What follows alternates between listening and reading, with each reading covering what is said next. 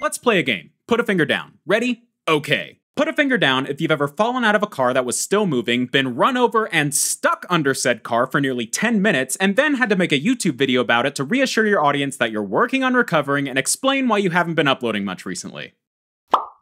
Yeah, this is not clickbait. So hi, I'm Foot of a Ferret, and I got run over recently. Here's that story. So one night I was out on a drive, sitting in the passenger seat, and was admittedly feeling kinda bleh. I wasn't super into the trip, kinda just wanted to go home. We get to where we're heading, start to park on a bit of an incline, I unbuckle my seatbelt, open the door, and step out. However, unbeknownst to my stupid, dumb, very, very, very tiny brain, the car hadn't quite been fully parked yet. So I step out onto what I assume is solid stationary ground, when in fact, the ground was Sonic speeding away from me as if to say, yo, let's cause some mischief. And I wasn't gently stepping out either, my whole body was committed to that motion. I trip on the ground, I trip on the ground. My body spills out of the car, I land on the driveway front side first, and then I roll to the left and I end up on my back.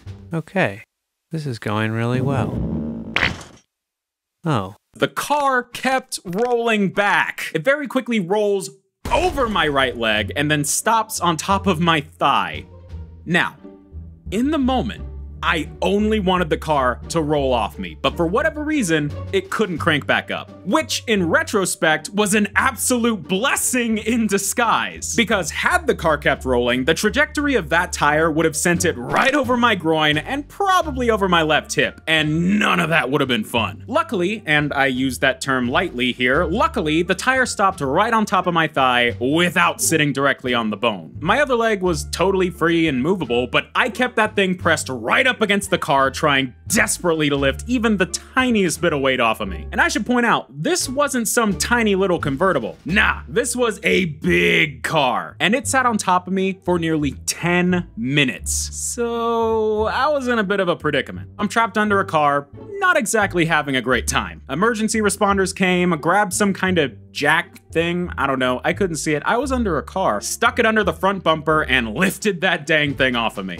And let me tell you, you have never experienced relief quite like having a car lifted off of your leg. I still didn't feel good, but compared to before, I was kind of chilling. I mean, it helped that my leg was mostly numb at that point, but yeah. From there, I'm lifted onto a stretcher, loaded into an ambulance, and rushed to the emergency room. They took a bunch of x-rays and somehow found zero signs of a broken bone or fracture, which amazed me. I mean, at no point during any of this was the pain unbearable, but like, I got run over and was stuck under a car for 10 minutes. I had to have broken something, but apparently not. I was still very much in pain, but after a while, we did what the doctor called a road test to see if I could take a few steps, which I was able to do with a little help. So, a few hours, a tetanus shot, and one deep clean of my horrifically scraped up leg later, I'm handed some crutches and sent home. I've been focusing on recovering for a while now. The back of my leg was basically skinned by the pavement, so that's been the toughest thing to work through. And it's not exactly in tip-top shape yet, but after a couple of weeks, I was up and walking without my crutches, which is progress. So I'm working on getting better. And I just wanted to make this quick video to let you guys know what happened, let you know I'm doing okay, and explain why I've not been uploading much lately. I was working on a video about Mario before all this happened, but I've decided to shelve that for now and allow myself more time to dedicate to a much bigger video that I'm looking to upload on Halloween. So yeah, I'm alive and I'm doing okay. I appreciate you guys being patient with me as I recover, and I promise things on the channel will be back to normal as soon as I can manage it. Until then, please stay safe, and uh, always make sure the car is stopped before you get out of it. Trust me.